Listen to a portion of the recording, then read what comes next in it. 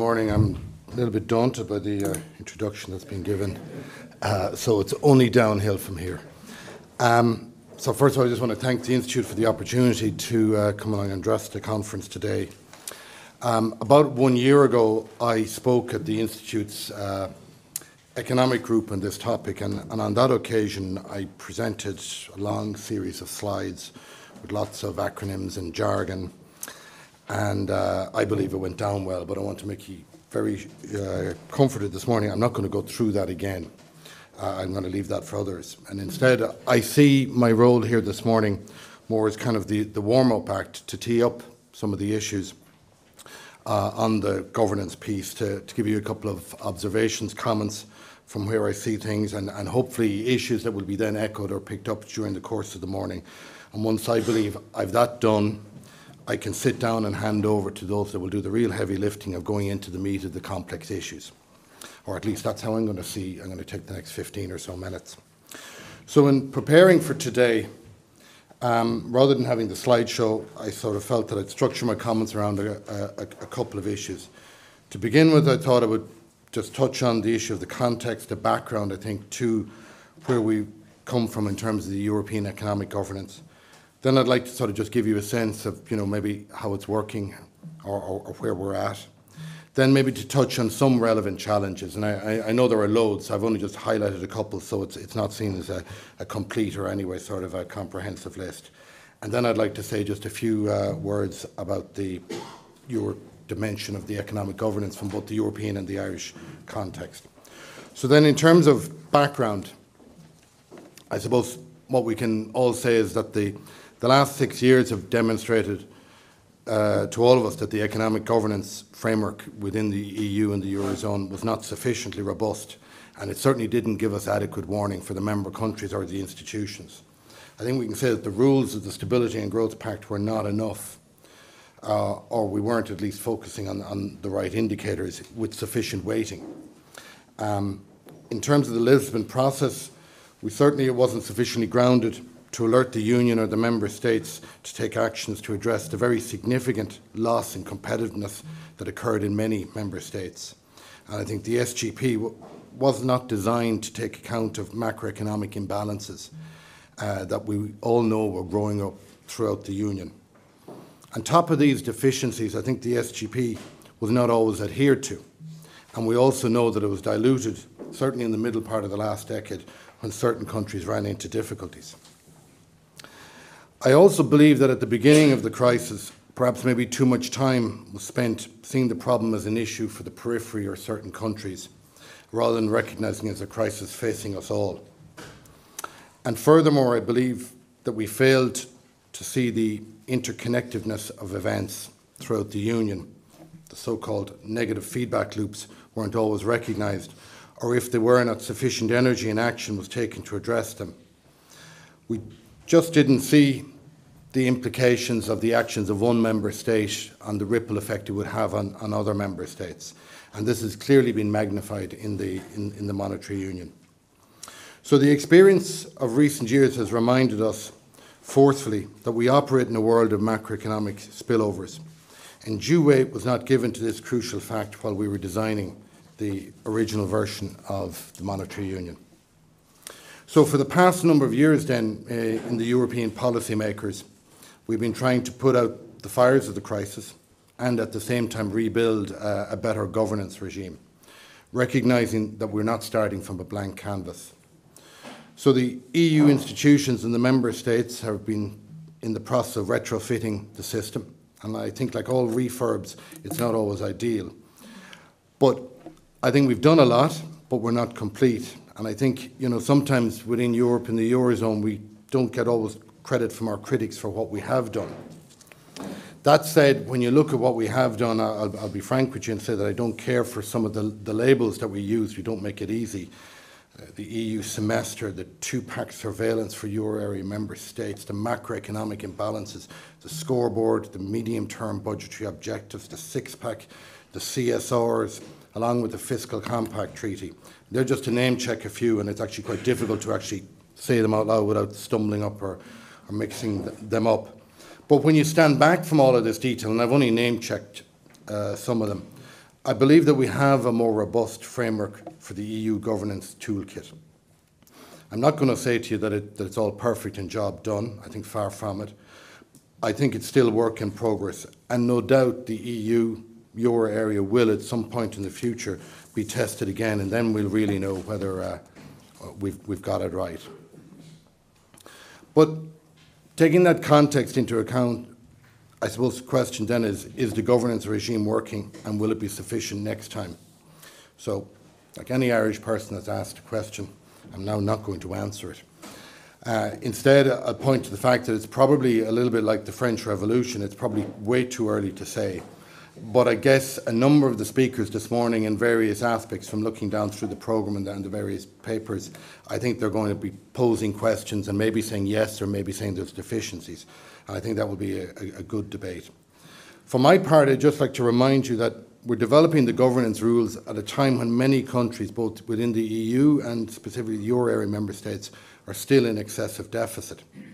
I mean, for instance, in 2010, all but three member states, Estonia, Sweden, and Luxembourg, were in excessive deficits, so deficits greater than the 3%.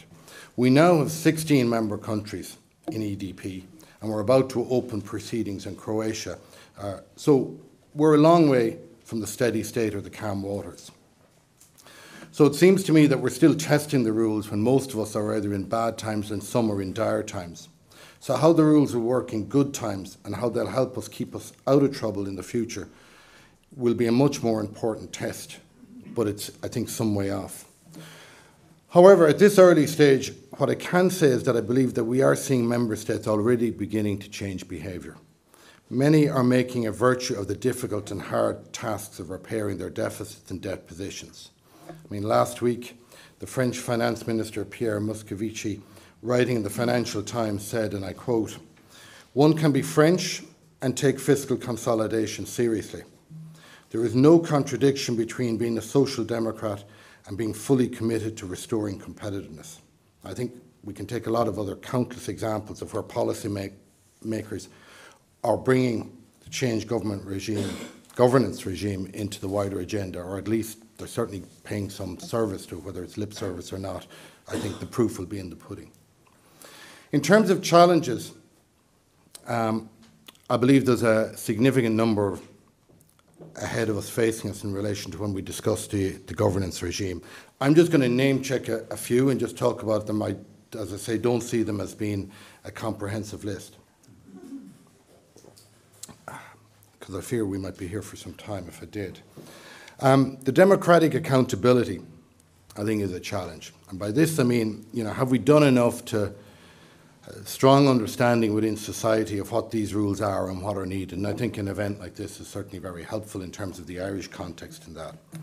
But certainly, sometimes sitting at meetings in Brussels, I, I wonder have we socialised the rules amongst us all sitting at the table and we're the experts. So I think there's a big challenge in terms of showing to our people that having rules and monitoring the key indicators, whether they be wage developments, various macro imbalances, high debt levels, etc., that monitoring these is a good thing. Having policymakers take action to address imbalances for the good of, the all, of all, I think is important. And I suppose when I talk about democratic accountability, buried in the back of my mind are various documents which I'm sure uh, you all have, have read and are familiar, but ones like the Commission's blueprint towards a deeper and genuine EMU, the European Parliament's report with a similar title, the Van Rompuy Four Presidents report, all of these dating from 2012, which kind of set out interesting roadmaps and posed challenges. And I think there's certainly anyone that wants to dig a bit deeper into this certainly worth a, a reread. Another challenge I think that we see is, is the whole question of the austerity versus the growth debate. And this view, I think, is one or the other is often put forward in terms of that it's if you have strict budgetary rules, then you won't have growth. I think addressing this issue is a really big challenge. I believe for some member states, there is some fiscal space to provide some support at the moment within the Union. Perhaps further operation of the imbalance procedures that we now have will prod action in, in these quarters. However, for, certain, for most member states, I think it isn't credible to have a long term growth policy that is based on high debt and deficits or just making them worse. So, absence of fiscal responsibility, it's going to be hard to see where countries will really enhance their growth prospects over the medium to longer term. I think this is a difficult message, but I think it's a sensible message. Another challenge then is where will the growth come from? I think during the ongoing period of fiscal and financial repair in Europe, answering this question is uh, a really fundamental challenge. But we better have some answers, or else we, we risk undermining the whole new governance regime. Um, here, I think the answer must lie in structural reforms, targeting focused policies aimed at tackling issues of low growth and the very high unemployment, particularly youth and long term unemployment that we see in member countries. So I think there's a job of work there, and I think issues like the CSRs and looking at country specific recommendations will be important. Then another challenge that just signpost here this morning, as I would see, is what I'd call the variable geometry that's going on within the European Union. By this, I mean that during the crisis, we've seen various pieces of evidence of a multi speed Europe. We've seen Europe operating at some number less than the 27 or now the 28. The fiscal compact is a clear example of this when we couldn't get 27 at the time, and I think we ended up at 25. Uh, then we have the euro area versus the EU, the so called ins outs, 18 versus 28. Then there's often the talk of the north south divide that we see in Europe. And also, in the context of this, we talk about programme countries versus non programme countries. And of course, then there's the issue of the treaty institutions, so called community method, as opposed to the intergovernmental method. Something I know Catherine Day, Secretary General of the, of the Commission, spoke about at this institute la, la, last week. But whatever Europe is, and by this I mean that the 28, it is varied and complex. And while there's key strengths, it also presents a major challenge that is highly relevant to the success of this governance project. So, parallel with these challenges, I believe there are many within the Commission, and I think we got a little hint of this from Catherine last week, that are becoming increasingly cognizant of the fact that different circumstances apply to, to different member states. For example, the MIP process, the nature of the imbalances vary across member states. For this process to be effective, we will have to increase the focus at EU level on peer reviews so that member states can learn best practice from each other and take actions as needs be. This will take time. And I think, frankly, to date, most member states generally focus only on their own issues and surprisingly don't often take the wider view when you see it at the table in, in, in Brussels. Now, I'm not naive. I don't expect small member countries to take on larger ones. But this, I think, is where we see the, the role of the institutions and common principles coming into being. Otherwise, I think, again, the governance regime will fall short. Um, I think turning then to maybe the final part of what I wanted to just say to you this morning was I think if we look at the implications of the governance regime for the EU, euro area, and in particular Ireland, I think it is clear implications for the EU 28 is that there will be greater macroeconomic surveillance. And I think that's no bad thing. The EU semester is now in its fourth year. Now, I know that you'll all be familiar with the various timelines involved, and if not, I'm confident that some of my fellow speakers will remind us of, of some of that detail during the course of the morning. But I see the semester evolving over time. And in this context, I hope we will become more sophisticated in terms of focusing on material and important issues within the Union and not too focused on a one size fits all type of policy prescription. I think what I have in mind there is, is that if country X has six country specific recommendations, every other country has as well. It kind of becomes like a, bit of a Christmas tree that we hang the baubles out of rather than focusing on what are the, the important issues. So I, so I believe that we'll see a stronger Commission focusing on the governance package that it has at its disposal. And I think one immediate implication of that is, is that I see that we will see over time maybe uh, a bit more of the teeth of the Commission, and, and, and this is something that, that, that we'll that we'll just have to watch because we do know in the original SGP there was eventually when you got down through the articles fines. So this time around I think things are set up more for sanctions and, and a bit more coercion. Now apart from the envisaged stronger role that the Commission has, I think there's a greater role involvement for the European Parliament. And where that will take us is, I think, is, is difficult to predict. And I certainly think that the makeup of the new Parliament later this year will have an important development in this regard. For the euro area, the crisis has provided evidence of the negative impact of spillovers for the participating countries. We are experiencing a greater level of oversight, and we've now already moved to a common budgetary timeline. As you know, all within the euro area have to submit their draft budgets by 15th of October, and then following an opportunity by the Commission to provide policy directions, all countries are required to have their budgets enacted by the end of December. In the euro area, we've also additional requirements now for the role of independent fiscal councils and independently verified economic forecasts. So of immediate impact for Ireland was to move away from the December budget. However, now that we've exited the bailout programme without a pre-arranged backstop, the so-called clean exit, we are now in post-programme surveillance, post-programme monitoring space. And this will continue until we see 75% of the funds borrowed from all EU sources repaid. So therefore, there will be a level of oversight involved from post-programme surveillance for some time.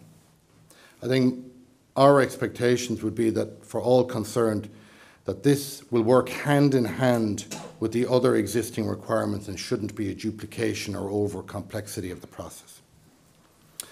For Ireland, we have to deliver a deficit target of below 3% by 2015. Government is committed to do so and in the context of delivered a budget for 2014 that sought to overachieve on its existing specific EDP targets for 2014. So I think we're nearing the end of the hard years and returning our public finances to the safe harbour of coming out of excessive deficit. However, once out of the corrective arm of the Pact, we will then be moving into the preventative arm of the Pact.